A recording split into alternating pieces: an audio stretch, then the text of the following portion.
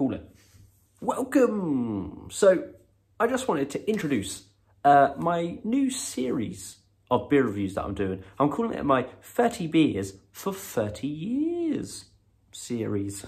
Yes, it's true, despite my boyishly handsome good looks, I'm actually turning 30 this year, as if 2020 couldn't get any. And I wanted to do something to celebrate it and to treat myself, so what I've done is I've selected 30 beers and I'm going to do 30 videos is essentially what it boils down to. And wish me luck because it's going to be the, the most I've ever uploaded in like a short space of time because uh, usually I just upload one video a week and sometimes I don't up upload any videos a week. So it's going to be it's going to be a challenge.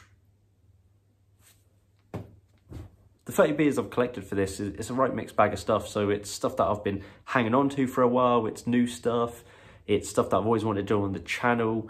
It's stuff that adds like a bit of a story to it for me. It's it's macro stuff and rare stuff and just loads and loads of stuff. So I'm looking forward to getting getting stuck into it now. So I hope you tune in, give it a little watch. There's going to be lot, lots of videos coming, which I'm, I'm not used to not used to doing, but let's let's see how it goes.